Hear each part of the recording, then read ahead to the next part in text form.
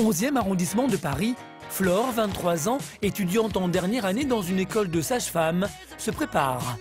Mais ce n'est pas un matin comme les autres pour elle. Oui, ça va? Ça va et toi? Vas-y, rentre. Ça va, pas trop stressé Bah écoute, euh, comme un le diplôme quoi? Vas-y, défais-toi. Pour l'occasion, Sarah, son amie de promotion, la retrouve chez elle. Dans quelques heures, elles passeront la dernière épreuve de leur examen. Je suis en train de réviser ma Bible. Je pense qu'à ce stade, c'est plus la peine les dés sont jetés. On est d'accord. La semaine dernière, les deux étudiantes ont dû soutenir un mémoire devant un jury de cinq personnes et exceller dans des épreuves écrites. Reste maintenant à obtenir la deuxième partie de leur examen et ce n'est pas la plus facile. En fait, là, on passe les épreuves euh, orales et pratiques de, bah, de notre diplôme d'État. Donc, en fait, c'est la moitié de toutes les épreuves euh, finales, quoi. La concrétisation de nos 5 années d'études, on attend ça depuis, depuis très longtemps. Donc euh, c'est un grand moment, quoi, c'est sûr. Un grand moment qu'il ne faut surtout pas rater. Les cas pratiques ne nécessitent pas seulement du savoir-faire, c'est aussi une façon d'être que les sages-femmes doivent respecter scrupuleusement. C'est que j'ai oublié d'enlever mon vernis. Moi, je l'ai fait ce matin. Tu veux? Ouais, je... t'as du dissolvant Bouge pas. Tiens. Ah super, merci. Je te dis, moi, je l'ai retiré ce matin. J'ai failli oublier. J'ai pensé toute la nuit en me disant demain, il faut que je pense à retirer mon vernis. C'est la faute d'hygiène qui te fait rater ton ça. Il faut que je retire mon collier, tiens. Il faut qu'on ait les ongles courts, propres, ça c'est logique. Euh, pas de bague, pas de vernis, pas de montre, de bracelet, de bijoux. Si on oublie, c'est c'est zéro et je pense qu'on peut directement repartir. euh, ça sert à rien d'examiner la patiente ou le bébé en fait. Bon, la blouse, ça c'est. Et ce n'est pas tout. Leur équipement de sage-femme doit être impeccable. Stéthoscope, mètre et courbe de croissance, le moindre oubli pourrait réduire à néant tous les espoirs de Flore et Sarah. Ah, ça, c'est le- l'indispensable pour, euh, pour le diplôme. C'est ce qu'on a quand même tous les jours avec nous à l'hôpital, avec notre bientôt dernier badge, Ouais. quand même. Bientôt, ce badge orange qui deviendra rouge. Il y aura écrit sage-femme. Allez, hop, on emballe. On va dire que tout est bon. Et pour l'encourager, Flore peut aussi compter sur ses parents. Ah, maman, bon courage notre puce, on t'aime. Attention, RERB perturbé. Bisous. Oui, enfin, de toute façon, j'y vais à pied, donc. bon, on y go? Sur le palier, Flore et Sarah retrouvent Claire, une voisine d'immeuble, qui passe elle aussi son examen. Pour les trois étudiantes, direction Port-Royal, un grand hôpital parisien où se déroulent les épreuves. L'heure tourne. Pour les filles, la pression monte. Allez, ouf. Dernière ligne droite. Oh la vache Non, non, mais les filles, je vous dis, ça ne peut pas se mal se passer. Ce n'est physiquement et pas possible. Oh, il pleut. Diplôme pluvieux, diplôme heureux. Dans moins d'une heure, Flore démarrera son épreuve. Dernière étape avant d'embrasser cette carrière de sage-femme qui l'a fait tant rêver. Comment Flore va-t-elle gérer son stress? Passera-t-elle cette épreuve sans embûche Pourra-t-elle prochainement réaliser son premier accouchement?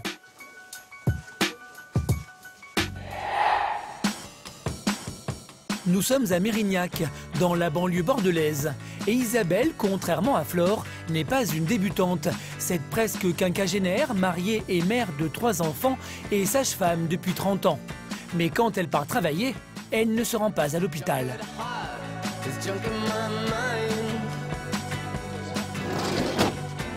Bien qu'elle ait accouché de sa dernière fille à l'hôpital, Isabelle s'est spécialisée dans les accouchements à domicile, un genre pas toujours bien perçu par le corps médical. Mais pour elle, il n'y a pas mieux. Sur un accouchement à la maison, euh, je dirais pas zéro baby blues, j'en ai quelques-unes de temps en temps qui ont quelques pleurs, mais euh, presque trop de bonheur, comme elles disent, je pleure de trop de bonheur. Et donc ouais, ce syndrome dépressif, je ne l'ai pas à la maison. Après 9 ans passés à l'hôpital de Bordeaux, Isabelle a décidé de s'installer à son compte.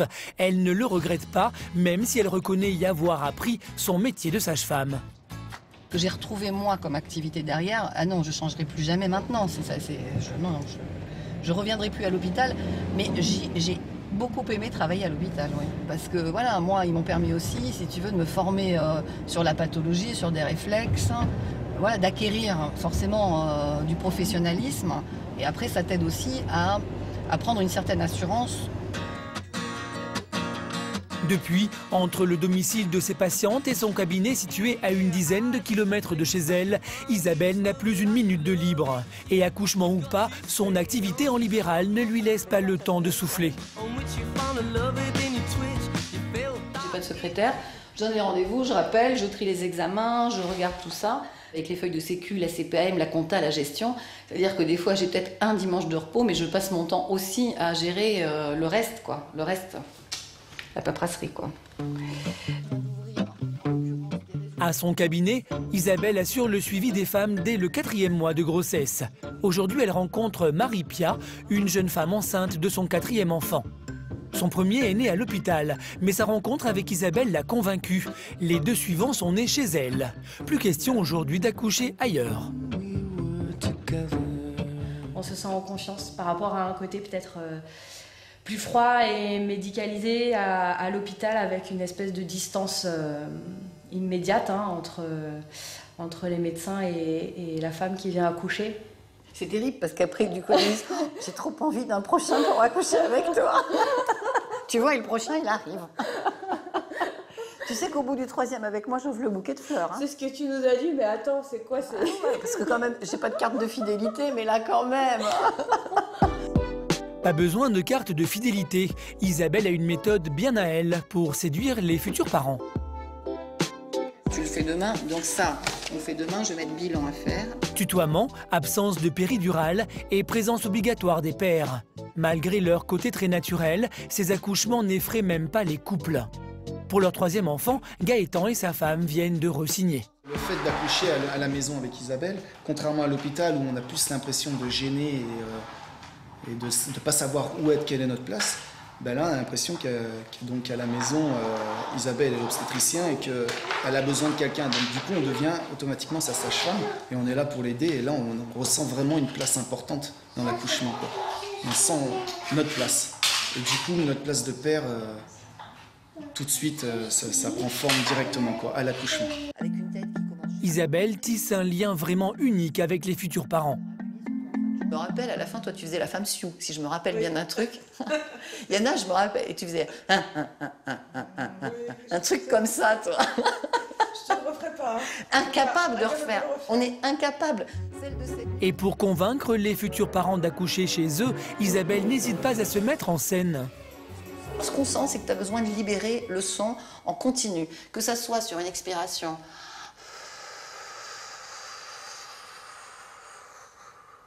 ou que ça soit sur une extériorisation, on sent que ça tient, hein, la note. ou alors...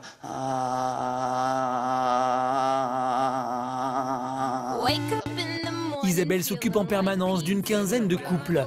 Et cette militante de l'accouchement à domicile tente encore de faire d'autres émules dans tout le département. Allô Comment réussit-elle à conjuguer sa vie professionnelle et sa vie de famille c'est vrai que c'est embêtant parce qu'on va se promener, elle est toujours avec son téléphone, on est toujours en train de l'appeler. Pourquoi ces futurs parents acceptent-ils d'accoucher chez eux alors que cette pratique présente des risques? Comment se déroulera son prochain accouchement? Il est là, ton bébé. Mais c'est normal. Clinique de la Roseraie à Aubervilliers, en banlieue parisienne. Fabien, 30 ans, est lui aussi sage-femme m'a dit comme ça, hop, je vais vous installer avec le médecin anesthésiste. Mais c'est dans une maternité que ce jeune homme fiancé et sans enfant enchaîne les gardes. 12 heures d'affilée de jour comme de nuit depuis 5 ans. Cette jeune femme va accoucher dans quelques instants. Mais son bébé est trop gros et son accouchement s'annonce difficile. Fabien, qui a choisi ce métier en l'honneur d'une sage-femme qui l'a sauvé à sa naissance, commence bien mal son service ce matin. Alors Une heure plus tard, Rihanna naît par césarienne, mais cette petite fille de 3,7 kg ne va pas bien. Ses poumons sont remplis de liquide amniotique et elle respire mal. Alors Fabien doit aspirer ce liquide rapidement. Il intube le nourrisson, mais cela n'a pas l'air très efficace.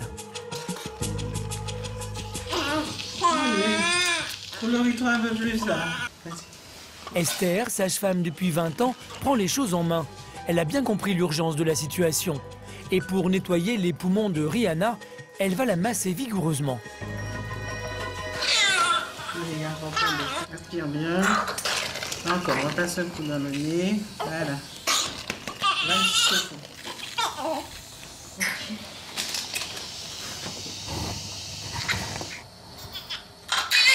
Voilà. Et ça marche. Si Fabien n'en est pas à son premier soin post-natal, il reste parfois maladroit dans ces situations que les femmes semblent maîtriser naturellement. Mais pour Esther, les autres sages-femmes ne seraient pas étrangères à ce manque d'assurance. Ça fait pas l'unanimité. Un garçon, qu'est-ce qu'il fait là? Il n'a pas sa place là. C'est une histoire de femme. Au fond, on le sent bien sur les. Hein les sages-femmes, ils sont déjà bien aguerris là. Bon, on va le laisser faire ses preuves, mais on va pas lui donner trop de chance. Pas facile pour Fabien de se faire sa place dans ce monde jusqu'à il n'y a pas si longtemps exclusivement féminin. Alors il fait tout pour être crédible et se faire accepter par les jeunes mamans. Le, le- le lait, c'est pas encore monté Ah, un petit peu, d'accord. Donc pendant la montée de lait, il faut éviter de donner les biberons, hein, sinon ça va, ça, va vous faire, ça va vous faire très mal. N'hésitez pas s'il y a un problème d'allaitement ou si vous avez besoin de quelque chose, d'accord? Oui. Voilà. À tout à l'heure. Ça encore, je pense que c'est le moins dur. C'est moins évident parce que à l'été, on, enfin, euh, je sais pas comment c'est, mais je sais comment ça marche. C'est- moins évident quand on est euh, en salle de travail, qu'on va dire à la maman, voilà, respirer. euh, euh, ça peut se contrôler la douleur. Voilà, ça c'est euh, bon. Quand on nous regarde, généralement, on fait non mais bon, c'est hein, je sais ce que c'est. Toi, tu sauras pas ce que c'est, donc. Si Fabien ne s'en sort pas trop mal quand il parle de montée de lait, les choses se compliquent quand il s'agit d'accouchement. Mais il a un truc. Bonjour. Je m'appelle Fabien, je suis sage-femme de garde. Comment ça va? Ça va bien. Ça s'est bien passé l'accouchement? Ouais, ça va bien. Et bébé, il mange bien? Très bien. Elle avait regrossi aujourd'hui ou pas? Confronté à l'intimité des femmes, Fabien s'en sort avec beaucoup de gentillesse et de prévenance. Et dans ces domaines, il en fait même plus que ses consoeurs. Vous vouliez pas sortir? Euh, bah non, on m'a dit que c'était d'office. On avait dit c'est 4 jours. ouais. C'est votre, premier? Non, tout. Vous auriez pu négocier un petit peu, hein? Non. Ah ouais. Un homme, c'est plus doux. Peut-être de ne pas connaître justement la- ce qu'on traverse, eh ben ça, les, ça les sensibilise davantage. Du coup, on juge pas. Voilà. Ok, bonne soirée. S'il y a un problème, n'hésitez pas, d'accord? Avec moins de 2% d'hommes sages-femmes, Fabien fait encore figure d'exception dans son service. Du coup, il a encore du mal à assumer son statut. On vient te soutenir. Ce qui a le don d'amuser ses collègues. Il faut qu'on dise la sage-femme, lui. hein. Non, j'aime pas. Il veut Il pas. veut pas ouais. dire, quand on dit la sage-femme, non, non, non, non, lui, c'est le le sage-femme. J'aime pas le là. Sage-femme, ça me, ça m'émascule un petit peu en fait. C'est grave, quoi. Son côté mâle est retiré, donc ça va pas. Masculin, c'est grave, quoi.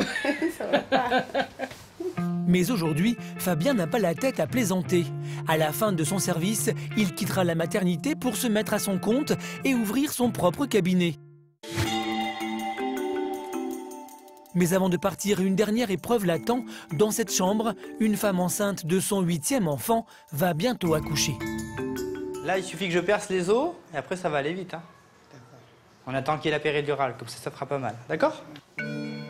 L'anesthésiste a posé la péridurale et c'est maintenant au tour de Fabien d'entrer en action, sans doute pour la dernière fois. En choisissant la profession de sage-femme libérale, il n'accouchera plus. A priori, c'est sans regret. Bizarre, hein Bizarre. D'habitude, ça se perce tout seul. Tu m'aides un petit peu là, j'y arrive pas. Voilà, remonte un petit peu. Remonte l'autre jambe, voilà. On réessaye? Percer la poche des os, un geste qu'il a pourtant fait des centaines de fois, mais qui le déstabilise encore. Ça y est.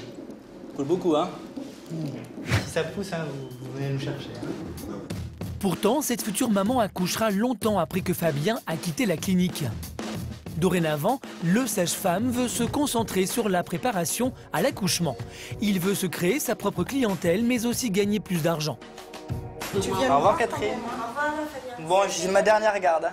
C'est vrai? Ouais. Donc, euh, je reviendrai pour faire du, que du libéral maintenant. Donc, bon, si- On, on pourrait t'envoyer quand même des patientes? Oui, bah surtout, je, fais que, je vais faire que ça maintenant. D'accord, ok. Donc, il faut surtout m'envoyer des patients. Demain, Fabien quittera l'hôpital. Il deviendra l'un des 3200 sages-femmes libérales sur les presque 24 000 sages-femmes qui exercent en France. Se sentira-t-il plus à l'aise en tant que sage-femme homme quand il sera à son compte? Ne regrettera-t-il pas de ne plus mettre d'enfants au monde? Aura-t-il suffisamment de patientes pour s'en sortir financièrement? Nous sommes à la maternité de l'hôpital de la Pitié-Salpêtrière à Paris. Bonjour, bonjour Fanny. Colette est sage-femme et elle a toujours su qu'elle voulait faire ce métier. Malgré ses 61 ans, elle attaque toujours sa journée bon pied bon oeil. Premiers rendez-vous sont à 7h30. Pourtant, dans deux jours, elle va devoir prendre sa retraite. Malgré la présence de ses deux enfants et de ses deux petits-enfants, pas facile de tirer un trait sur près de 40 ans de métier. Alors pour ne rien oublier, elle a tout archivé.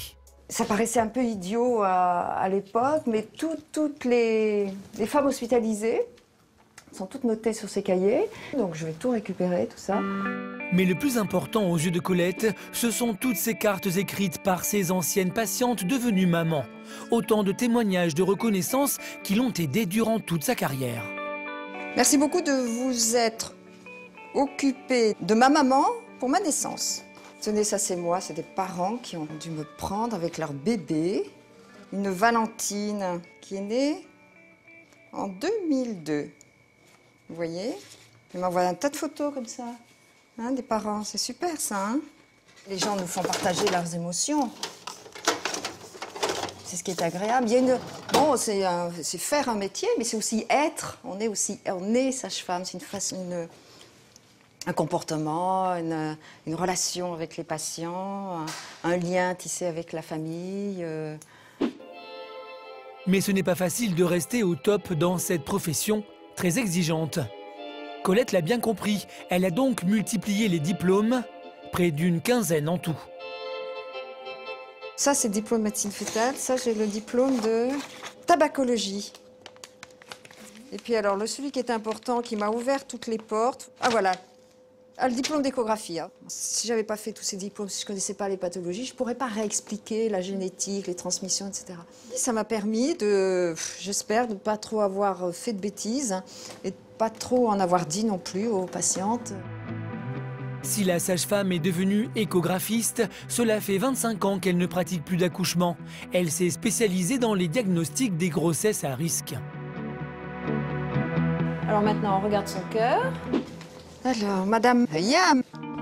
Et aujourd'hui, Colette a l'un de ses derniers rendez-vous avec une femme enceinte de 7 mois. Elle ne s'en souvient plus, mais elle la connaît bien. Il avait fait l'échographie quand j'étais enceinte. C'est pas ans. vrai.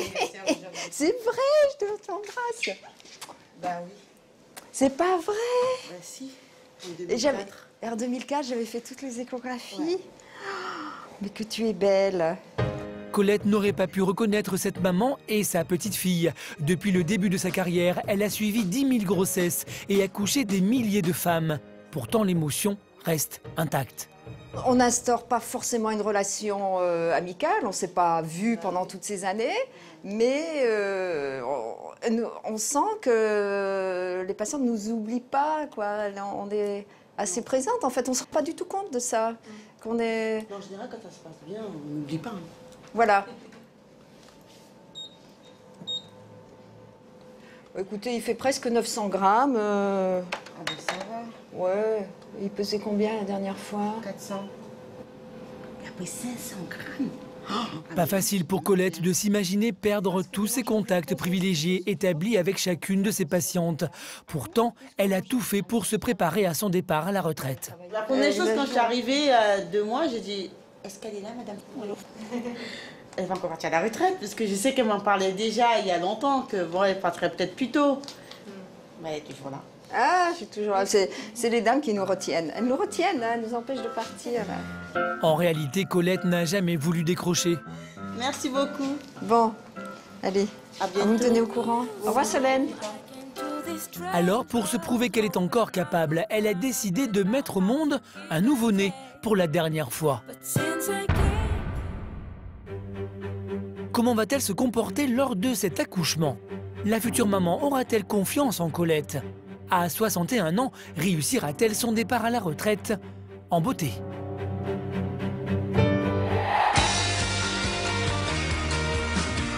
Allez, zen. À 23 ans, Flore n'a qu'un rêve, devenir enfin sage-femme. Après 5 ans d'études, elle s'apprête à passer son diplôme d'État à l'hôpital de Port-Royal.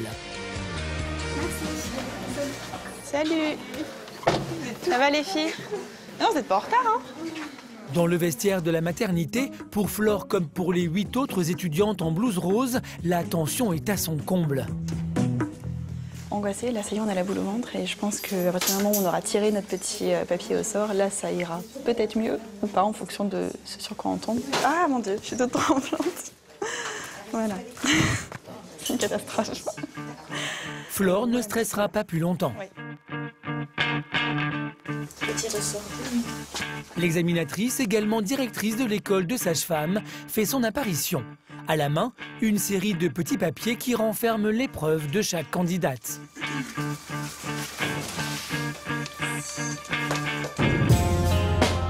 Visiblement, le tirage au sort ne lui a pas été favorable. Son thème, l'examen post-accouchement. C'est celui que j'aime le moins. Bah, Tiens. Donc voilà. Pas de bol. T'as quoi? Pour Flore, pas le temps d'épiloguer sur le sujet de sa voisine, c'est l'une des premières à passer l'épreuve. La chambre 531 et la chambre 402. On est parti Flore va devoir examiner une maman en suite de couches. Mais avant de commencer, Madame Nguyen fixe les règles. Vous avez un quart d'heure pour travailler sur ce dossier. D'accord, ok. Et vous préparez votre matériel. À tout de suite. Allez. Pour Flore, le premier challenge est de mettre sa patiente en confiance, la condition sine qua non pour réussir un tel examen. Bonjour. Bonjour madame. Je me présente, je suis Flore, étudiante sage-femme. On a dû vous dire que je venais vous voir ce matin. Oui. Est-ce que vers 9h ce sera bon pour vous? Oui, c'est bien. Ouais, super. Et ben je vous remercie, à tout de suite. À tout de suite. Bon, déjà, elle est au courant, elle est d'accord. C'est déjà une super étape. Parce que parfois... Un premier bon point pour Flore qui peut aller récupérer le dossier de la jeune maman. Elle a maintenant 15 minutes pour tout savoir sur elle. Grossesse, accouchement, taille et poids de son bébé. L'objectif est de décider si la femme est apte à sortir de l'hôpital. Une erreur de diagnostic pourrait être dangereuse pour le diplôme de Flore, mais surtout pour sa patiente. Ah, il y en a de temps en temps des échecs. hein. Soit parce que l'étudiant gère pas très bien son stress, soit parce qu'il n'a pas compris euh, l'essentiel du dossier et euh, pose mal le diagnostic. Donc si on sent que l'étudiant n'est pas encore suffisamment assuré pour euh, travailler en sécurité avec suffisamment de connaissances, avec une bonne gestion du stress, les étudiants ne sont pas diplômés. Flore n'imagine même pas redoubler. Encore faut-il qu'elle ait suffisamment étudié son dossier. En tout cas, dans la chambre 531, une jeune maman accouchée il y a deux jours attend de savoir quand elle pourra quitter l'hôpital sans risque. C'est parti pour 20 minutes de consultation. Derrière la porte, Flore est très concentrée. Aucune question ne lui échappe. Vous perdez beaucoup de sang? Non, ça non, va. ça va Vous allez bien aux toilettes? Ouais Pipi caca, tout va bien. Super. La directrice de l'école n'en perd pas une miette, mais son élève semble maîtriser la situation. Est-ce que vous avez des questions? Bon, ça va. Non? Au revoir, merci beaucoup. Ok, merci bien. Bonne journée. Merci à vous aussi. Au revoir. On vous remercie vraiment. hein. Le temps d'un examen médical, la sage-femme en herbe vient de jouer son avenir. Et à sa sortie, Flore est partagée. Elle ne s'est jamais sentie à l'aise. Je pense que ça a été un peu cafouillé parce que c'est vrai que ça fait longtemps qu'on n'a pas fait de suite de couches. Moi, c'était en novembre. Mais euh, elle était particulièrement gentille, j'ai trouvé. Elle comprenait bien ce qu'on. Enfin, j'avais l'impression qu'elle comprenait bien ce, qu'on... de ce dont on lui parlait et tout ça. Donc, euh, je pense et surtout j'espère euh, pas trop mal. L'étudiante veut rester confiante, mais une chose l'inquiète, comment s'est déroulée l'épreuve pour sa copine Sarah? Salut Sarah, ça va? Ça a été? Ouais, ça va. Bon, fini? C'est fini, y est. Bon, bah tant mieux. Ouais. Et toi? Bah comme toi, je pense que ça a été, mais écoute, euh, on verra ça. euh, on verra ça, euh, ouais. Alors maintenant, c'est le stress de l'attente des... Des résultats. C'est ça. Dans trois semaines, Flore saura enfin si elle deviendra sage-femme, le rêve de toute sa vie. Flore et Sarah auront-elles le plaisir de fêter leur diplôme ensemble Les résultats des examens de Flore vont-ils briser tous ses espoirs Je vais aller dire bonjour à ma petite patiente, salle 4. Trouvera-t-elle rapidement du travail comme sage-femme C'est celle-ci. Nous retrouvons Isabelle, sage-femme de 48 ans qui arpente son département pour visiter les futures mamans qui ont décidé d'accoucher chez elle. Derrière ce choix se cachent souvent des motivations très différentes. Pour Isabelle, il faut donc s'adapter. Alice, par exemple, souhaite mettre son enfant au monde dans cette baignoire remplie d'eau. Elle va Ah oui. pas rester là, elle va être dans le salon. Comme c'est un peu ovoïde, ça s'installe partout. Tu vois les supports Ça poignets. très confortable. C'est hyper confortable. Donc toi, tu peux te mettre à quatre pattes. Rarement pratiqué dans les maternités, ce type d'accouchement est très contraignant. Mais pour Isabelle, c'est le plus doux pour les mamans et les bébés. Et la sage-femme n'y voit aucun risque. À la main, je suis là, si tu veux, voilà, je la guide, je sens. Mais l'in- l'intérêt, si tu veux, c'est que moi, dans l'eau, je, je ne pratique, je laisse, j'accompagne, je laisse venir. Et après, ben, l'enfant est relevé par les parents et la transition va se faire sur l'extérieur. C'est-à-dire, c'est quand il va arriver dans l'air que le choc thermique va avoir lieu et qu'à ce moment-là, l'enfant va respirer. Allez, on va t'écouter, bébé. Mais accoucher à domicile n'est pas sans danger. Et Isabelle prévient toujours les hôpitaux au cas où il faudrait transférer d'urgence une maman. Pour ne pas affoler leur entourage, Alice et son compagnon sont d'ailleurs restés très discrets autour d'eux sur leur choix d'accouchement. On n'en a pas parlé, justement. Et on a trouvé très drôle cette question redondante euh, qui est de, vouloir savoir où est-ce qu'on accouche. Il rentre beaucoup dans notre intimité avec cette question, moi, je trouve. Et euh, finalement, on l'a pas dit euh, jusqu'à très récemment, au compte-gouttes, à ceux qui le demandaient. Peut-être pour pas euh, affoler. Et c'est quoi les réactions en général? Et ben finalement, euh, comme il leur reste pas beaucoup de temps, ils sont, ils sont contents, ils sont obligés d'être contents et de nous, de nous soutenir et de nous encourager. Je pense Donc que peut-être bien s'ils avaient eu plutôt, alors. euh, neuf mois. euh, Ouais, ils auraient pu entre-temps Ouais, euh, ouais, t'angoisser, te mettre des voilà. peurs. te-. En France, seuls 5% des femmes choisissent d'accoucher à la maison. Et Isabelle ne réussit pas toujours à convaincre les futures mamans. Ouh, ben là, par contre, on enlève les chaussures, hein, parce que là... Aurélie, une infirmière enceinte de 6 mois, a choisi, elle, d'accoucher à l'hôpital. Pourtant, Isabelle suit sa grossesse. Car si la future maman ne peut pas arriver à temps à la maternité, alors Isabelle sera sa solution de secours. Si demain, euh, ben, le bébé, euh, enfin, il y avait quoi que ce soit, ou ça arrivait plus vite que prévu, ben, j'ai Isa. Inquiète d'accoucher chez elle, sans médecin, Isabelle connaît bien ce genre de réticence. Elle se dit c'est pas la peine d'appeler le SAMU. Elle a bien compris que dans ce cadre-là, si ça va trop vite, je vais, je vais pas appeler le SAMU, je vais appeler Isa. Si de plus en plus de femmes enceintes choisissent d'accoucher avec Isa, c'est aussi que la Gironde est le plus vaste département de France. Ici, les hôpitaux sont parfois loin. Alors la hantise d'Isabelle, c'est de ne pas arriver à temps. Et justement, ce qu'elle redoute vient d'arriver. Oh là là Ah Ah Ah la cata Il y a des mauvais jours, hein Un pneu crevé qui va compromettre toute sa fin de journée. Non, je vais annuler ma suite de couches parce qu'il faut que je reparte à Langoiran. Je me sens plus l'énergie de repartir à Langoiran, moi. Allez, ça marche. Ok, je fais comme ça. Bisous. Je vais les prévenir que j'ai crevé, que là, ça va me prendre trop de temps. Bisous. Ouais, merci. Ouais. Au bout du fil, le mari d'Isabelle. La sage-femme va pouvoir exceptionnellement rentrer tôt chez elle. Si sa vie professionnelle la comble, Isabelle a du mal à faire accepter son emploi du temps à sa famille et surtout à Oriane, sa fille de 17 ans. Des fois, c'est vrai que c'est embêtant parce qu'on va se promener, elle est toujours avec son téléphone, on est toujours en train de l'appeler, mais bon, euh, maintenant, euh, ça, fait, enfin, ça fait un moment quand même qu'elle fait ce travail, donc euh, j'ai su, être faire avec et ça, ça me gêne pas plus que ça. J'ai pas envie de devenir sage-femme, mais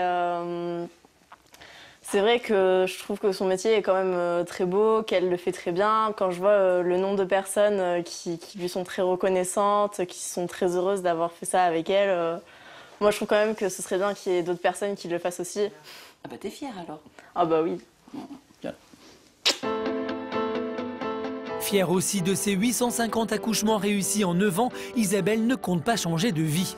Elle va même proposer de nouveaux cours de préparation à la douleur à de futurs parents. Mais son discours très engagé passera-t-il auprès de ses nouveaux patients? J'en chie, mais je sais que je vais y arriver quand même. Mais c'est dur, hein. c'est dur quand même cette douleur. Elle n'est pas anodine quand même, elle n'est pas imaginaire. Convaincra-t-elle ses futures mamans d'accoucher chez elle? Appelée en urgence un soir pour un accouchement, Isabelle arrivera-t-elle à temps? 11e arrondissement de Paris, chez lui, Fabien, le sage-femme homme, découvre les contraintes de travailler à son compte. Il y a quatre jours, il a quitté son poste au sein d'une clinique. S'il veut se créer sa clientèle, il doit faire le siège des établissements médicaux. Chaque jour, il passe plus de deux heures à rédiger des propositions de service. Chers collègues, euh, je vous fais part de ma nouvelle installation dans le secteur de la plaine Saint-Denis. Mon activité va se répartir en des consultations de suivi de grossesse, euh, des séances de préparation à l'accouchement. Il compte sur les professionnels de santé pour faire sa publicité auprès des femmes enceintes. Mais si Fabien est motivé, les réponses se font rares. Donc j'ai envoyé euh, 200 lettres. Mais, mais j'ai pas eu de retour, bizarrement. Alors je pense que les professionnels l'ont gardé dans un coin, en tout cas j'espère. Sans réponse positive, Fabien n'a pas d'autre solution que d'aller se vendre auprès des hôpitaux. Pour réussir sa reconversion, il a troqué sa blouse verte de sage-femme contre une mallette noire de commercial. Bonjour. Bonjour Nicolas. Ça va? Oui, ça va, comment vas-tu aussi, toi? Très bien. Pas sûr que cela suffise à convaincre Nicolas, le responsable du service de sage-femme de cette maternité. Comme euh, je te l'ai dit au téléphone, donc je- maintenant je suis euh, à temps plein en libéral. J'aimerais faire de l'accompagnement global, hein, donc effectivement je suis en, en train de chercher là euh, au niveau des maternités à côté de mon cabinet, ben, euh, quelles sont les maternités justement à même de, de pouvoir euh, ben, prendre en charge euh, mes patients. Il faut que je vois, parce que par contre, on n'a pas de sage-femme extérieure qui intervienne en préparation, voir comment ça se passe. Mais il faut que je vois avec la direction. Une ouverture possible pour Fabien. Mais son ami Nicolas préfère le mettre en garde sur la difficulté de son projet. Ça peut être un peu difficile au démarrage. Il y a des catégories de patientes qui diront non, de toute façon, je veux pas un homme, que ce soit euh, pour des principes religieux, pour des principes culturels, pour, pour elles-mêmes, parce qu'elles ne conçoivent pas euh, que, que ce soit un homme qui fasse l'accouchement.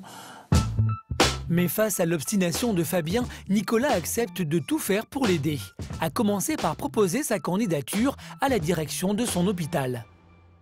J'attends les, les documents pour la semaine prochaine. D'accord. Et, euh, et à partir de là, après, nous on reprend contact avec vous euh, au niveau de la direction pour voir comment ça peut se concrétiser définitivement. Super. Ok. Bah, merci Fabien. Merci Nicolas. À bientôt. Bonne fin de journée. Au revoir. Au revoir. Je suis très content. Je ne pensais pas qu'il allait être euh, aussi favorable à, à une collaboration. Fondamentalement optimiste, Fabien n'a retenu que le meilleur de cette entrevue. Et ses efforts vont finir par payer. De retour chez lui, il retrouve son petit bureau installé dans l'appartement qu'il partage avec sa fiancée. Sans enfant, le jeune homme peut y préparer, au calme, ses rendez-vous. Oui, allô? Et coup de chance, le service maternité de son ancienne clinique l'appelle pour lui envoyer des patientes. Oui. Euh, ah, euh, moi demain ça va être un peu compliqué. Par contre jeudi, il y a moyen que je fasse quelques visites, oui. Elle a un périnée intact, elle a accouché d'une petite fille et, a, et elle allait. Voilà. Ok. Je te donne son numéro de portable. Mais t'hésites pas, hein, mais c'est vrai que moi maintenant je suis à temps plein. Ouais. Euh, N'hésite pas à t'appeler. ouais, hein, parce que moi, euh, ouais, y a pas de souci. hein. T'as- besoin? Ouais, ouais, j'ai besoin. hein, Je suis pas encore au, au max, moi. Ouais, t'es pas, t'as pas encore au max. D'accord, non, mais c'est bien. Bonne soirée, ciao. Ouais. C'est la première fois qu'elle m'appelle. Là, c'est cool. Parce qu'elle m'a m'a donné quand même quatre patientes. euh, J'avais, bon, j'espère que je pourrai toutes les voir. Si Fabien a gardé un souvenir de son expérience à la clinique, c'est bien que les femmes enceintes n'aiment pas attendre. Alors, sans perdre une minute, il contacte toutes ses futures patientes. Je m'appelle Fabien, je suis sage-femme libérale. J'ai été appelé par Madame pour venir faire des visites à domicile chez vous. Est-ce qu'il y a un interphone ou un digicode à l'entrée? Alors, l'interphone, c'est à votre nom? Mais je pense que c'est nécessaire, oui, d'être- fiable, d'être réactif et d'être bien organisé, parce que sinon, euh, ça devient tout de suite vite un cauchemar. Et euh, puis après, euh, c'est comme ça, après, par le bouche à oreille. Il y a du bon bouche à oreille qui peut se faire rapidement, mais je pense que le mauvais bouche à oreille se fait encore euh, plus rapidement. Pour Fabien, les affaires démarrent. Mais avec seulement 4 rendez-vous programmés, il est loin d'être devenu un sage-femme reconnu à la clientèle établie. Comment vont se dérouler ces rendez-vous avec ses premières patientes Bonjour. Réussira-t-il à se créer une bonne réputation? Sa nouvelle clientèle sera-t-elle suffisante pour lancer son cabinet? C'est la bourre à Marion. C'était l'horreur ce matin. À quelques arrondissements de là, Colette s'apprête à mettre fin à sa longue carrière de sage-femme. Avec votre petit? Mais en attendant, ce matin, elle doit vérifier que la maladie de cette femme enceinte de 8 mois ne menace pas son fœtus. Quel est votre traitement là actuel? Son système immunitaire est déréglé. Colette doit être particulièrement vigilante. Quand elles ont une maladie comme ça, ça peut. Le bébé peut s'arrêter de grossir, il peut y avoir des problèmes. On multiplie les échographies et on les surveille de très près. Mais même dans ce genre de grossesse extrêmement risquée, Colette ne peut s'empêcher d'utiliser ses bonnes vieilles méthodes. Alors c'est simple, hein, on, regardez, je, je fais ça et je vois qu'il est gros. et puis sinon, si ça suffit pas, j'ai mon centimètre de couturière comme ça. Voilà, donc la vraie obstétrique, elle est là, voilà, 32 cm, 2 kg. Voilà, très bien. 2 kg. Je vais me faire critiquer par les échographistes, vieilles méthodes sont parfois les meilleures. Si Colette utilise encore son centimètre, c'est qu'elle n'a pas toujours confiance dans les nouvelles techniques médicales. Mais pour ne pas rester sur la touche, elle ne rechigne pas à faire appel à ses jeunes collègues. Tiens Mathilde, je voulais te voir. Voilà, donc j'aimerais que tu me montres un petit peu les nouvelles, euh, nouveaux plans, les nouvelles, peut-être nouvelles coupes à l'échographie, parce que je suis sans doute un petit peu dépassée par plein de, de, de photos à prendre, de couleurs, de Doppler, etc. À 28 ans, Mathilde affiche 30 années d'expérience de moins que son aîné. Ah, le Doppler énergie, montre-moi le Doppler énergie. C'est quand c'est comme ça. Ah, c'est Il n'y a pas de couleur, mais Il y a pas de couleur, de les- Oui, Malgré ses conseils attentionnés, Colette sait bien que son départ est inéluctable. c'est une autre façon de travailler, mais à nous de pas, il faut partir là, parce que on est dépassé. Voilà, bon merci madame. Colette a beau s'y être préparée, elle a quand même du mal à accepter son départ. Plus l'heure de sa retraite approche, plus elle fréquente la nurserie. Alors les bébés, c'est quand même ça qui nous intéresse, ce sont les bébés. Hein.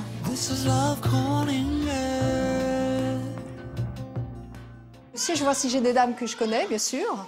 Bien sûr, je vais voir les dossiers à peu près tous les jours.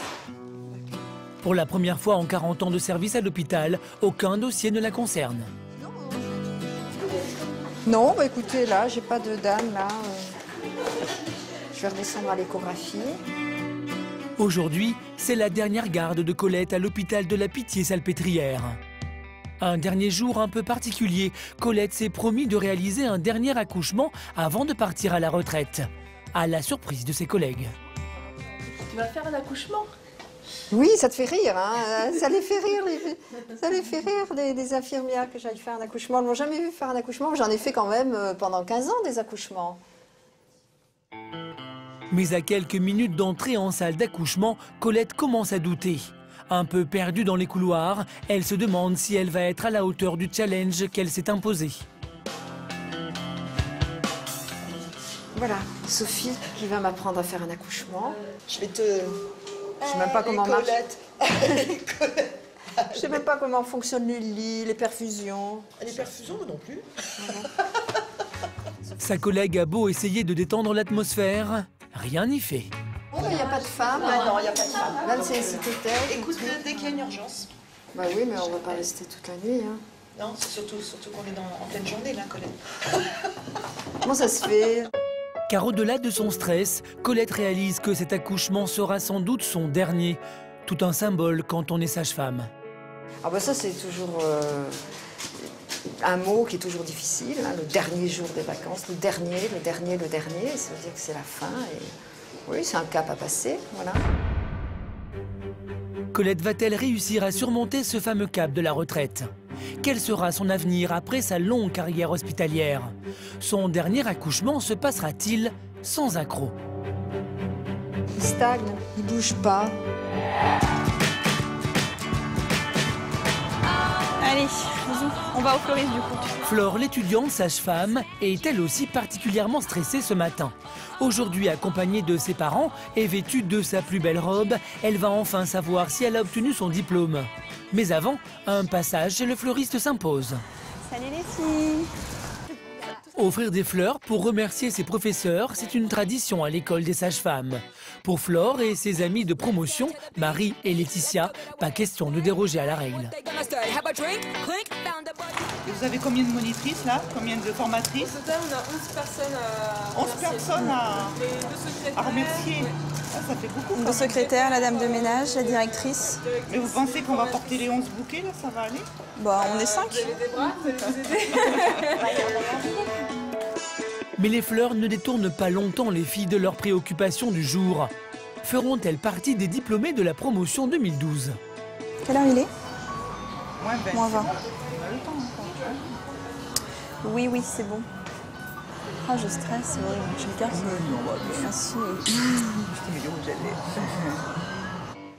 Les bras chargés de bouquets, direction la faculté de médecine. L'amphithéâtre est plein. Tous les étudiants attendent le verdict.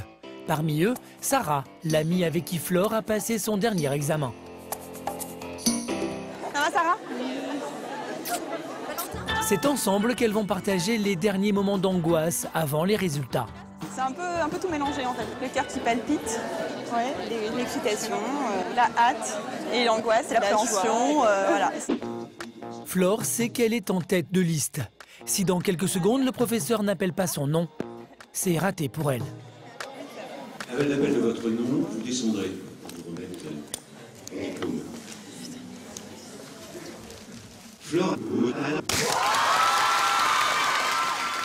Sous un tonnerre d'applaudissements, elle descend les marches de l'amphithéâtre. C'est officiel, elle est sage-femme.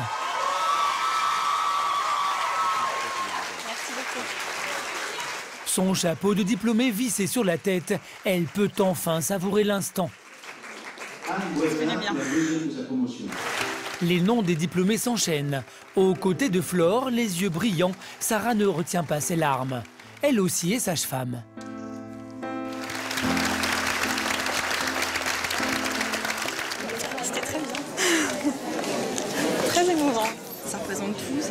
De travail de, de six années d'études, euh, c'est l'entrée dans la vie active, euh, dans les professionnels, l'indépendance, l'autonomie financière, euh, professionnelle. C'est voilà, un peu une renaissance en fait.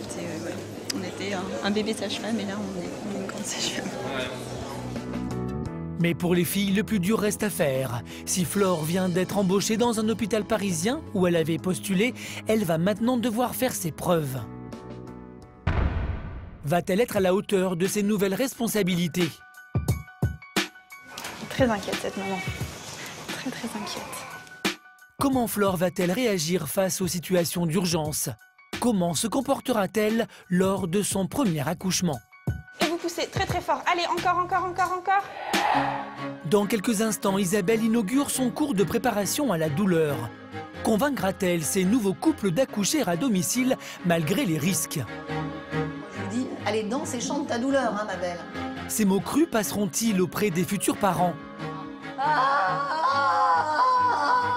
Appelée en urgence pour un accouchement, arrivera-t-elle à temps pour délivrer la jeune maman De son côté, Colette, la sage-femme presque retraitée, s'apprête à pratiquer son dernier accouchement. Comment s'en sortira-t-elle alors qu'elle n'en a pas fait depuis 25 ans? J'ai fait ça dans ma jeunesse, devant tous, mais là j'ai plus l'habitude, je ne fais pas. Assumera-t-elle d'être poussée à la retraite? Son pot de départ sera-t-il digne de sa carrière?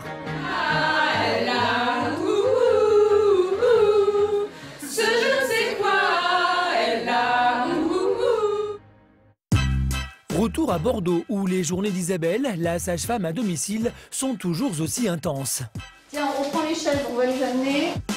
Elle a beau avoir démarré tôt ce matin, il est 18h30 quand elle reçoit trois couples à son cabinet pour ce qui ressemble à une petite réception. Santé à tout le monde. À vous les femmes enceintes surtout et à ces bébés, à ces beaux accouchements pour bientôt.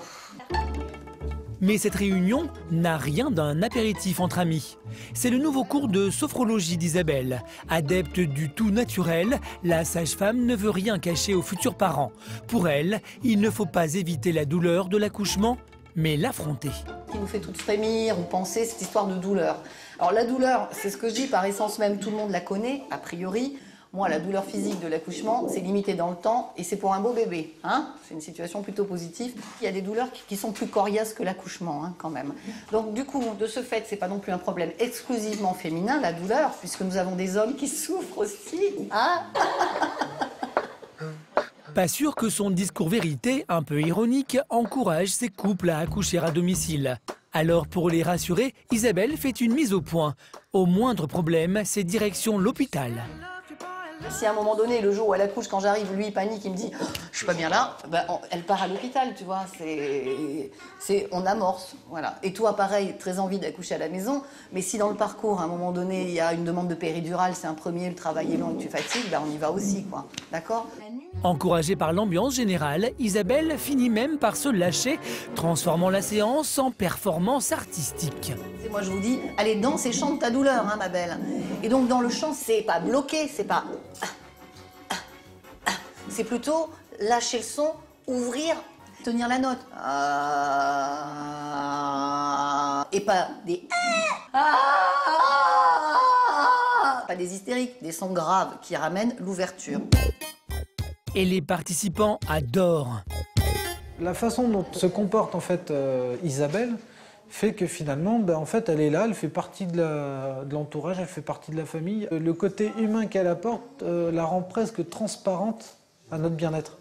Alors qu'un médecin est toujours la présence à côté qui fait que le rapport avec sa femme, qui normalement devrait être très intime, soudé à ce moment-là, ben, il ne l'est pas, il reste froid. Après trois heures de discussion, Isabelle doit mettre précipitamment fin à son cours de sophrologie. Une de ses patientes est sur le point d'accoucher. Vous connaissez le chemin, je raccompagne pas. Tout juste le temps de passer chez elle pour récupérer son matériel. Appétit. Et Isabelle se retrouve dans sa voiture. Une course contre la montre s'engage. La femme enceinte habite à plus d'une demi-heure de là. Elle a ressenti ses premières contractions. À peine arrivée, C'est toutes les combien À peu près? 4 ou 5 minutes. Ah, c'est bien. Sentez un peu mieux le truc. Isabelle se rend compte qu'il n'y a pas d'urgence. Stressée par un premier accouchement à l'hôpital qui s'est mal passé, Sonia, la future maman, n'a voulu prendre aucun risque. Par contre, tu vas nous faire un café, hein Tu vois Parce que je pense que j'en aurais besoin. Isabelle sait que la nuit risque d'être longue. Heureusement, elle va pouvoir compter sur Mathieu, le futur papa, parfaitement détendu malgré la situation. On est vraiment bien préparé, euh, on est vraiment cool, quoi, zen. Et donc, euh, voilà, impatient. On est euh, plus que jamais prêt à, à accueillir, euh, à accueillir notre fils, quoi. On pourrait imaginer que les femmes sur le point d'accoucher préfèrent rester alitées. Isabelle, elle, a une autre méthode. Là, on va, s- on va marcher un petit peu, en fait, parce que donc les, le travail est engagé, mais pas encore suffisamment pour que, pour que le bébé arrive. Donc là, on va faire une petite, euh, petite randonnée dans la campagne. Marcher, ça, ça bouge le bassin, ça active un peu la descente du bébé et du coup ça accélère les contractions. Lui il appuie, on va attendre qu'elle passe.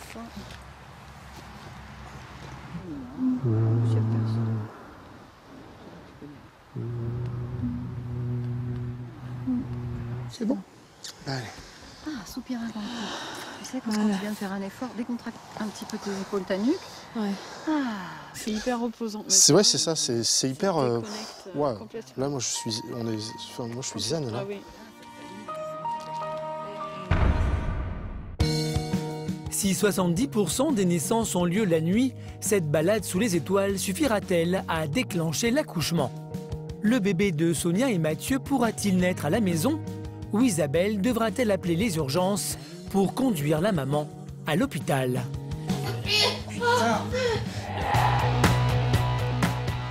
À Paris, cela fait une semaine que Fabien a quitté la clinique pour se mettre à son compte. Il tente de se constituer une clientèle et aujourd'hui, il visite ses premières patientes. Mais ça commence mal, il a 30 minutes de retard. J'ai oublié mes gants, j'ai oublié mon portefeuille après. Il y a mon casque Bluetooth qui marche pas. Sur le périph', c'était la misère, non On va s'excuser auprès de la patiente, hein. Déjà. Mais aujourd'hui, c'était un peu abominable. Ce couple qu'il visite pour la troisième fois a délibérément fait appel à un sage-femme homme pour une préparation à l'accouchement. Alors Fabien n'a pas le droit de le décevoir. Comme à son habitude, il va compter sur sa bonne humeur et sa pédagogie. Quelques excuses pour se faire pardonner et dans sa main, un poupon pour tout expliquer. Mais pas sûr que cela suffise cette fois. Bonjour. Bonjour Céline. Ça va bien. Bonjour. Grégory. Enchanté Grégory. Dans deux mois, Céline et Grégory deviendront parents pour la première fois. Alors ils veulent tout savoir. Si Fabien arrive à totalement les rassurer, il aura gagné. Et, euh, et je peux me déplacer librement dans la, dans la salle Oui. Pour répondre du tac au tac à toutes les questions du couple, Fabien dispose d'une arme secrète, sa tablette dernier cri. Dedans, des centaines de photos et d'informations sur l'accouchement, salle des naissances, monitoring, péridurale, expulsion du bébé. Tout y est. On te dit de te placer soit à un côté, soit de l'autre. Hein ça dépend un petit peu de la disposition de la salle. Et tu seras là avec un petit brumisateur. Ah oui, d'accord. Une fois, de tu peux faire la un petit masser, massage, ouais, ça euh, voilà, bien. il respire bien, tranquille. Et puis au moment où elle poussée, allez, c'est parti, vas-y, go, go, go. Enfin, voilà. Ouais, ouais. Donc tu seras à ce niveau-là. euh, À côté de son épaule pour la soutenir, l'idée à souffler. Et, Tu euh, mettras du brumisateur, C'est tu ça, surtout masseras. important, le brumisateur. Il faut que j'en prenne combien de brumisateur Ah, une caisse Ou un truc de 3 litres. Et Fabien n'hésite pas à faire de l'humour pour être encore plus convaincant et mettre le couple à l'aise. Son dernier atout, un poupon en plastique et le moulage d'un bassin de femme. De quoi lui permettre de mimer un accouchement. Une méthode qui parle à Grégory et qui plaît à sa femme. C'est bien d'avoir un, un point de vue masculin. euh. C'est vrai que la vision d'un homme euh, dans, dans tout ça, c'est souvent effectivement plus pragmatique et, et peut-être quelque part plus rassurant aussi, moi je trouve. euh. Et tout le monde est étonné autour de moi d'ailleurs que j'ai un, un sage-femme euh, homme. C'est très chouette de faire la préparation avec Fabien. Fabien a mis Céline et Grégory dans sa poche. Dans la journée, il enchaînera trois autres consultations. Mais à raison de 45 euros la séance, il va devoir multiplier le nombre de consultations quotidiennes s'il veut s'en sortir financièrement. Bon, comment s'est passée la semaine? Et Fabien, qui croyait avoir gagné sa place en tant que sage-femme homme, va tomber de haut lors de son dernier rendez-vous. Ah, chère madame, c'est sympa ça. Oh, bah c'est c'est une lettre du médecin, donc c'est bien qu'il y ait des lettres du médecin. Mais bon. Un beau cliché, chère madame. Cher. Monsieur. Ça m'agace un peu. Mais loin de se décourager, Fabien a décidé d'ouvrir son propre cabinet. En plus de ses préparations à l'accouchement, il y proposera des séances de sophrologie. Ce nouveau service va-t-il convaincre les futures mamans que Fabien est indispensable à leur bien-être? Peut-être un échauffement. C'est peut-être un étirement, c'est peut-être des fourmillements. Son cabinet va-t-il lui permettre de compléter les revenus de ses consultations à domicile? Va-t-il finalement réussir sa reconversion?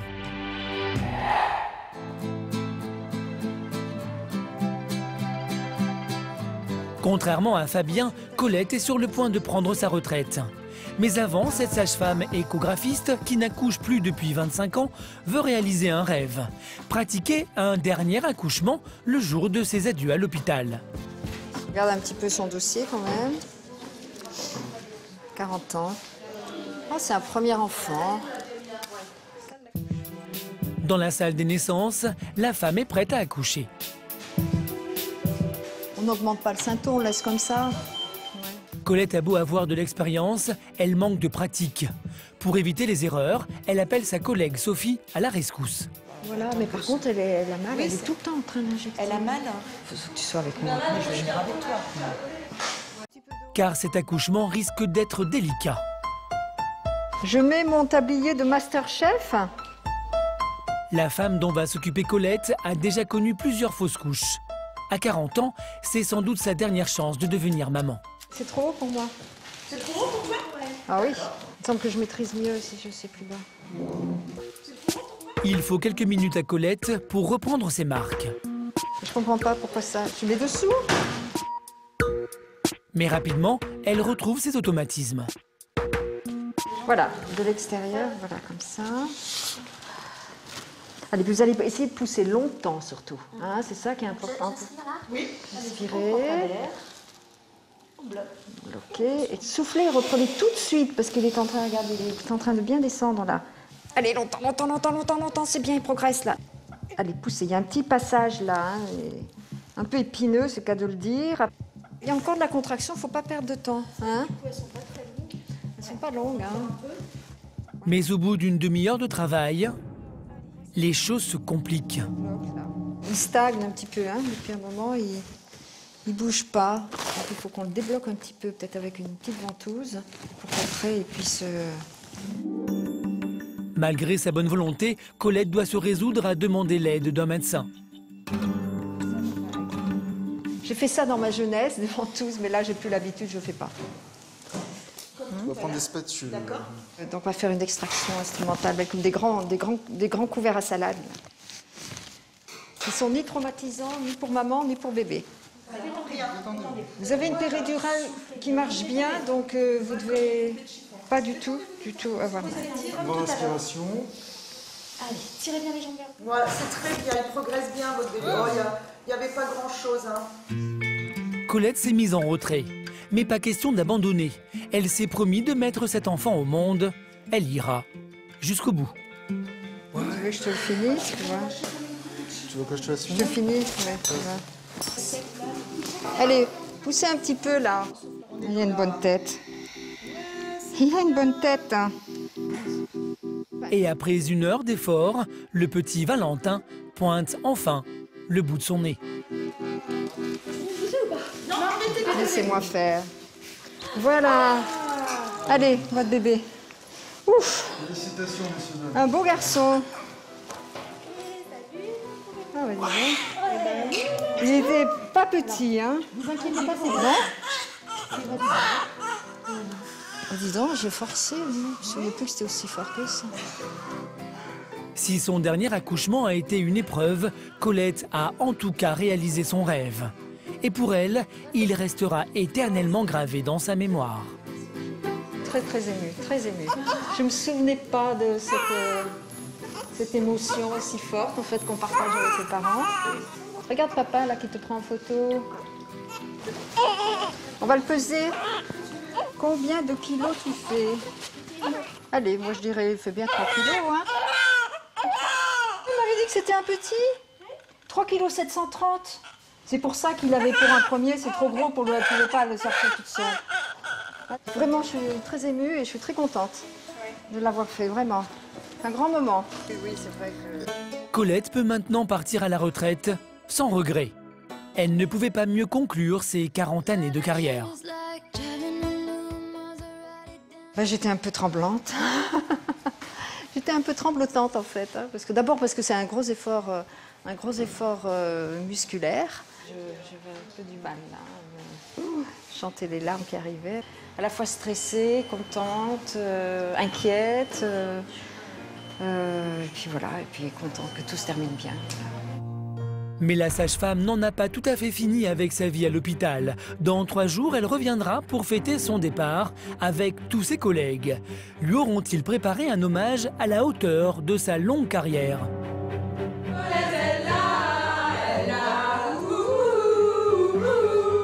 Au moment des adieux, Colette arrivera-t-elle à maîtriser ses émotions? Ah, c'est dur. Ah là là là là. Ah, c'est émouvant tout ça. Quel sera son avenir après son départ de l'hôpital? À l'hôpital Lariboisière à Paris, Flore, sage-femme fraîchement diplômée, s'apprête à prendre sa première garde.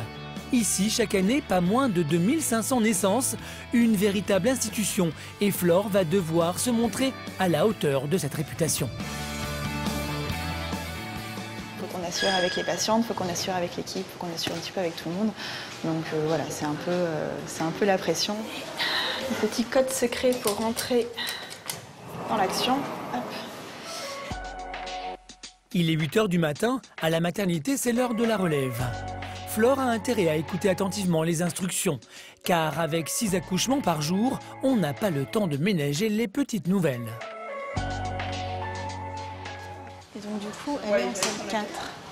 Bon, je vais aller dire bonjour à ma petite patiente, salle 4. C'est- Hop, salle 4. C'est celle-ci. C'est celle-ci. Rebonjour Derrière cette porte, une maman s'apprête à mettre au monde une petite fille. Et c'est Flore qui en est responsable. Alors moi du coup, a priori, je vais vous accoucher. Avec grand plaisir. Pour moi en tout cas, j'espère que c'est réciproque.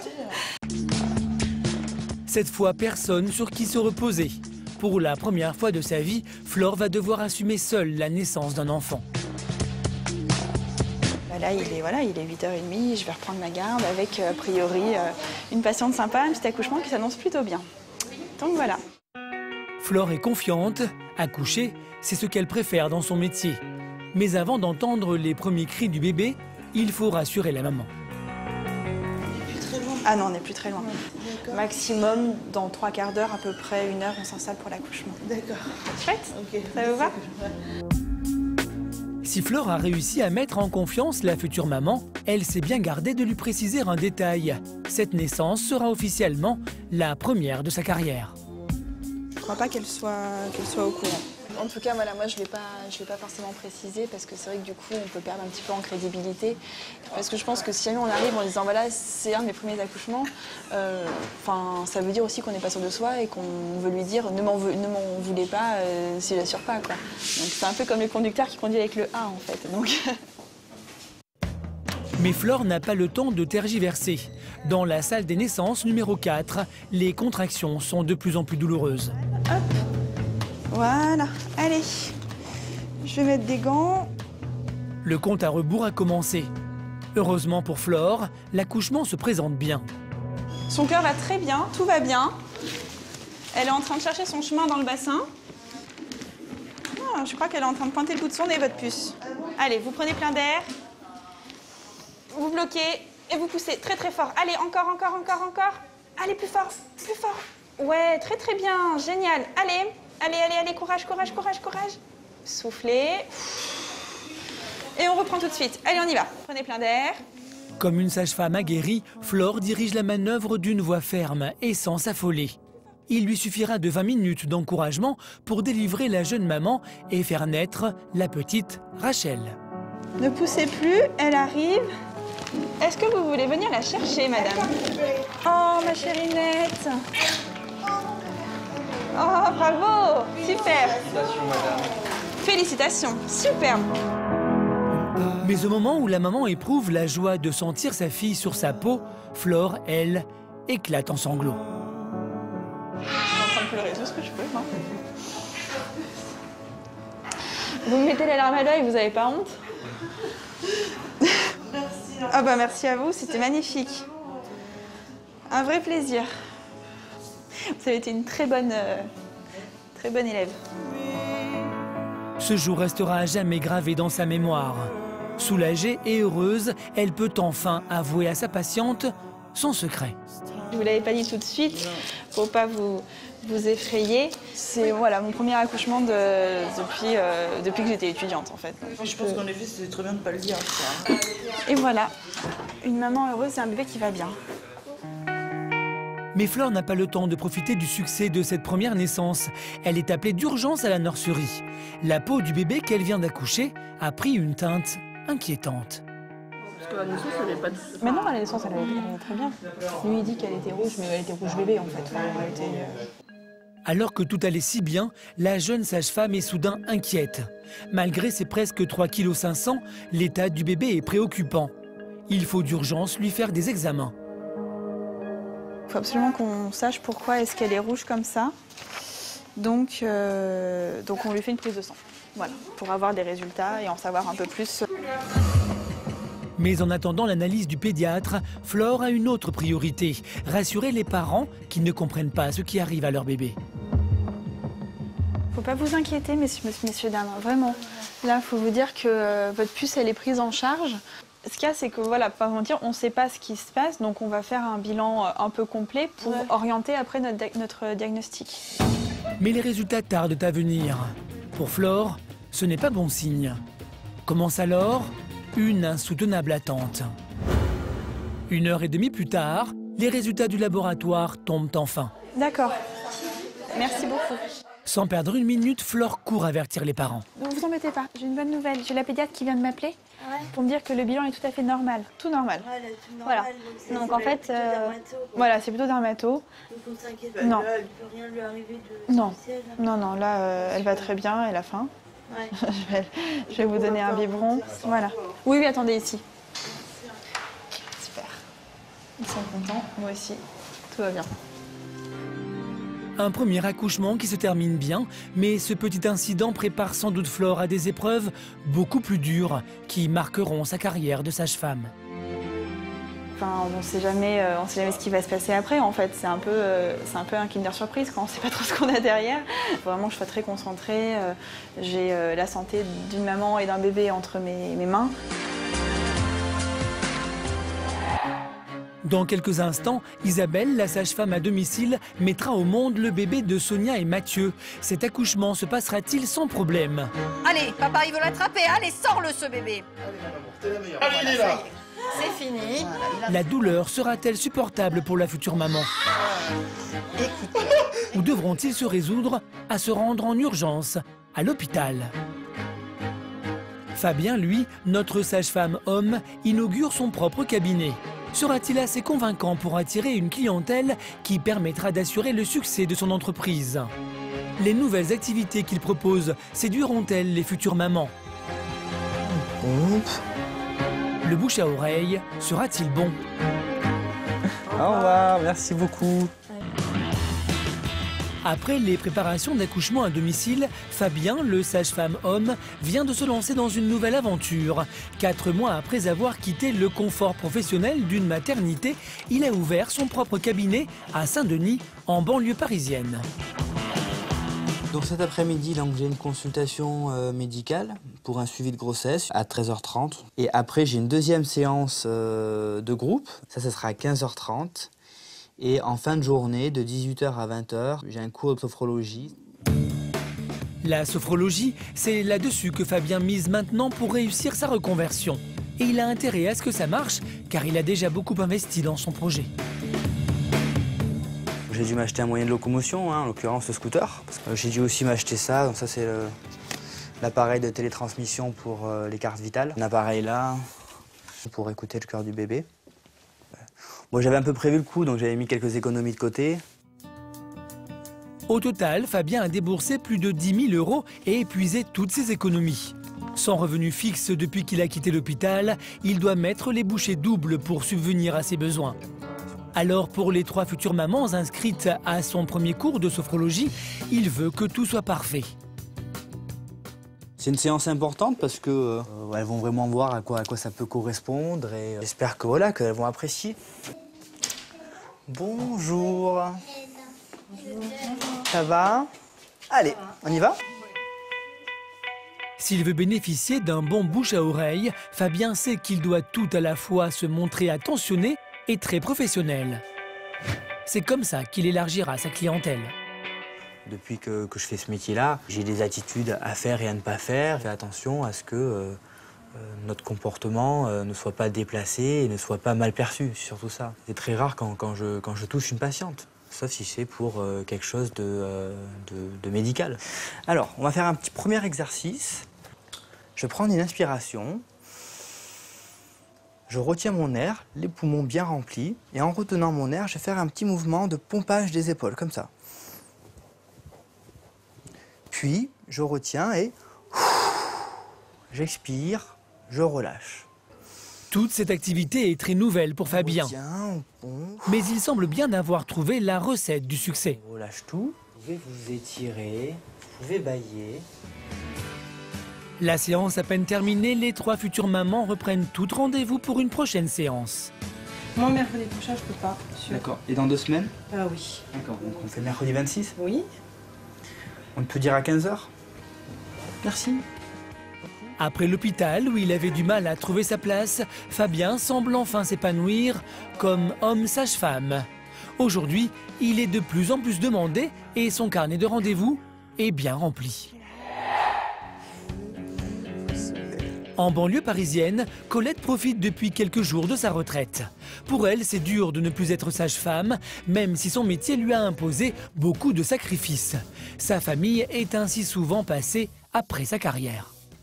Quand on est sage-femme, euh, on fait des gardes et euh, notre absence la nuit, la nuit, le week-end, euh, le mercredi, je pense qu'ils en ont souffert, oui. On rattrape rien du tout, non, c'est irrattrapable tout ça. Les moments qu'on n'a pas passés avec eux, on peut pas le rattraper.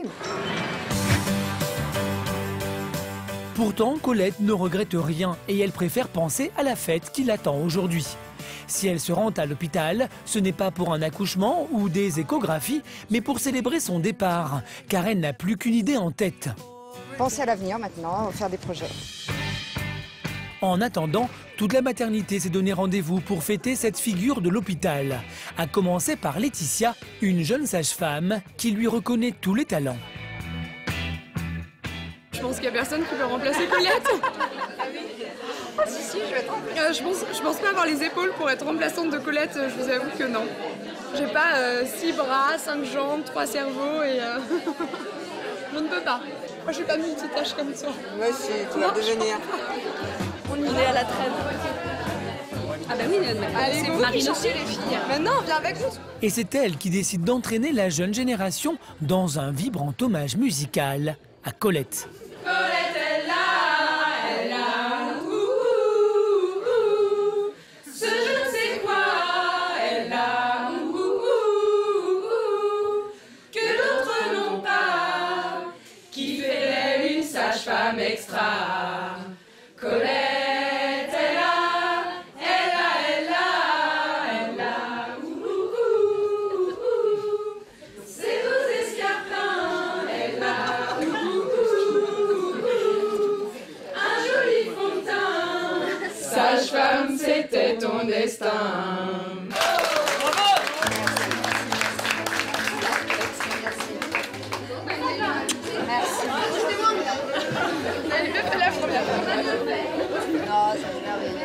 Merci à toi, Colette.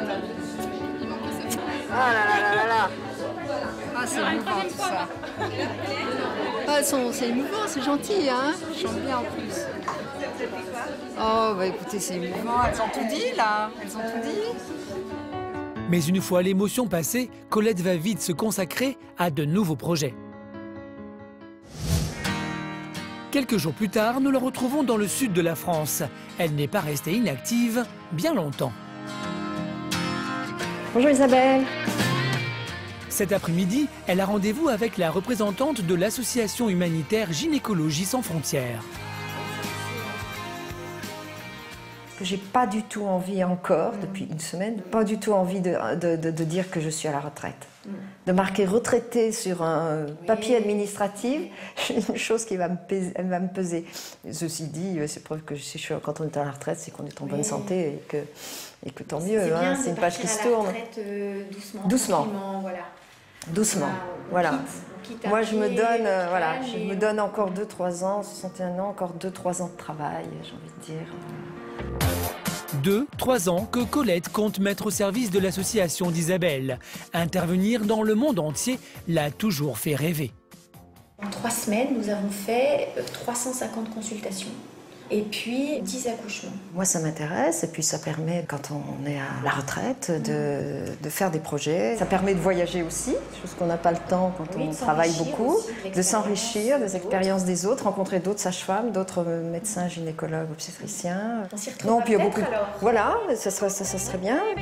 Sage-femme un jour, sage-femme toujours, Colette n'est décidément pas prête à prendre sa retraite.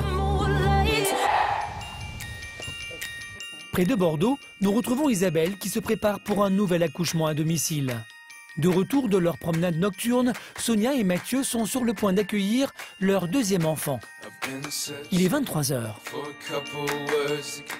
Ils sont pas impatients, mon cas. Il arrive. Vis l'instant présent. Là, je suis bien, bah, je ferme les yeux, je me repose. Tu vois? Elle vient, bah, elle vient, on la gère, on la souffle, on la respire, on la chante, on la bouge. Elle fait mal, mais elle amène ton bébé, quoi. Voilà. Donc on lui dit oui au bébé et à la contraction. bien sûr. Oh, ça bouge. C'est le cirque maintenant. oh, il fait la fête. Mais regarde, elle est bien ce bébé. Tandis qu'Isabelle prépare à sa façon, Sonia à la douleur, Mathieu, le mari, s'occupe du décor. Musique, bougies, ambiance New Age garantie. Allez, regarde, on va te faire un petit nid douillet. Tu t'installes en face, un peu allongé. Tu vois, vers elle Ouais. Chaise, table avec ou sans coussin, debout, couché, le couple essaie chaque recoin de son séjour. Mais rien n'y fait, le bébé refuse de naître, même Isabelle, qui en a vu d'autres, commence à trouver le temps long.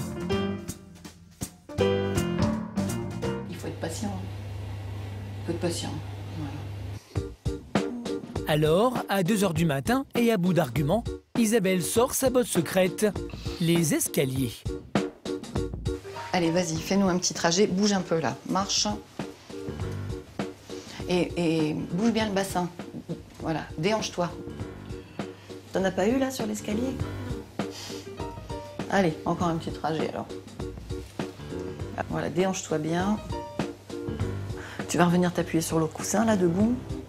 Après deux allers-retours, quelques contractions et sept longues heures d'attente au total, le fils de Sonia et Mathieu semble enfin prêt à naître.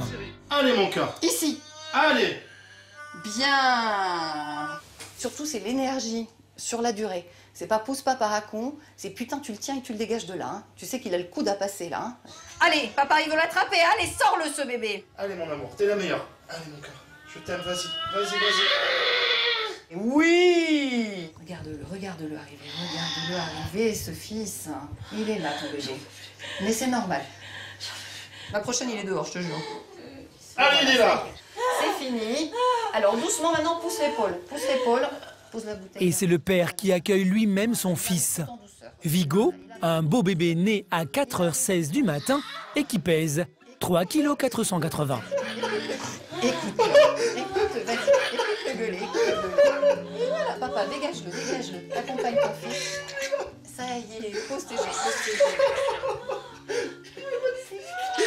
Oh, t'écoutes la voiture, Vigo. Putain, il a bien C'est pour vivre de tels moments que le couple a fait confiance à Isabelle. Pour la sage-femme, cet accouchement à domicile est un nouveau succès. J'ai mis mon fils au monde. C'est pas donné à tout le monde, quoi. Voilà, on s'est battus tous les deux. On a réussi tous les deux, tous les trois, tous les quatre. Merci. Ouais. Tous- tous les cinq quatre. avec moi. Voilà, tous les quatre. On a réussi. Ah voilà, ouais. on a- Quand je dis, tu sais, c'est un, un travail d'équipe. hein. C'est clair, c'est exactement ça, c'est vrai. Il est 6 heures du matin quand Isabelle laisse les jeunes parents à leur bonheur. Bye. Mais pas pour longtemps. Quelques heures plus tard, elle est déjà de retour. Bonjour maman. Isabelle vient donner des conseils pour le nouveau-né, mais aussi s'occuper de sa maman. Voilà, viens voir, viens voir, viens voir, ça y est. Et après ce qu'elles ont vécu ensemble, Isabelle sait que Sonia n'accouchera plus jamais à l'hôpital. Pour notre euh, fille aînée, euh, jamais, jamais je me suis dit euh, je, je vais la, je vais la faire à la maison. Quoi. On était euh, formatés aussi, hein, c'est normal. Tu sais pas où tu vas. euh. J'avais pas pensé du tout qu'on pouvait le faire à la maison pour la première. Et pour lui, je voulais que ça soit différent. quoi. Si c'était à refaire, je referais appel à Isabelle, on, le- on leur ferait tout pareil. quoi. Si vous êtes mignons tous les trois quand même. bon, c'est pas qu'on s'ennuie, hein, mais Oui, bah oui, oui. euh, il y en a d'autres qui attendent pour accoucher, quoi. hein, euh, donc, on se retrouve demain matin. Regarde-les se bisouiller, ah, trop de bonheur, trop de bonheur. Tu dis voilà, au moins tu as des parents heureux et un bébé, et ben, tu sais qu'il est bien accueilli et voilà, tu dis que c'est un bon départ dans la vie hein, quand même. hein. C'est un beau cadeau de naissance. Donner un bon départ dans la vie, c'est pour cela qu'Isabelle a choisi de devenir sage-femme. Et bien que l'accouchement à domicile n'ait pas toujours bonne presse, elle continue d'encourager les futurs parents à vivre cette expérience. Fabien, lui, travaille désormais en collaboration avec l'hôpital de Saint-Denis. Préparation à l'accouchement, sophrologie, son carnet de rendez-vous est de plus en plus rempli. Colette n'a finalement pas raccroché sa blouse de sage-femme. Elle espère faire son premier voyage humanitaire en Jordanie dans les mois qui viennent. Quant à Flore, elle continue ses gardes à l'hôpital Lariboisière. Depuis son premier accouchement, elle est devenue une sage-femme qui compte dans cette maternité. Elle s'épanouit chaque jour un peu plus dans ce métier qui continue à la faire rêver.